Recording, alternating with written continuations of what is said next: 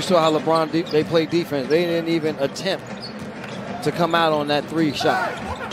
James drives, blocking foul called on Jang. Kuzma got off to a hot start on Sunday, hitting a couple of threes, and his offense flattened out a little bit. Davis wheels in the lane, flips it up and in. Anthony Davis, Kyle Anderson. Kyle on the slalom, Euro steps it up, and all Grizzlies have won all but one third quarter this year.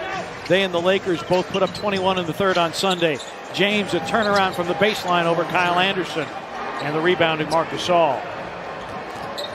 Quick advance, Davis, and one.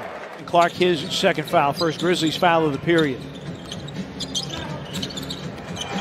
James lost it, got it back, put it up and in. The starters now getting engaged.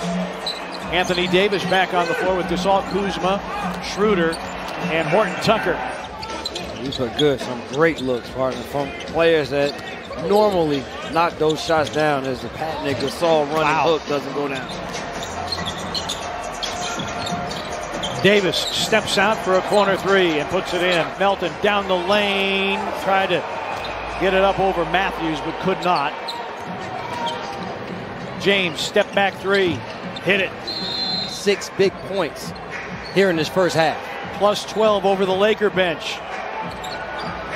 Davis for three. James against Valanciunas.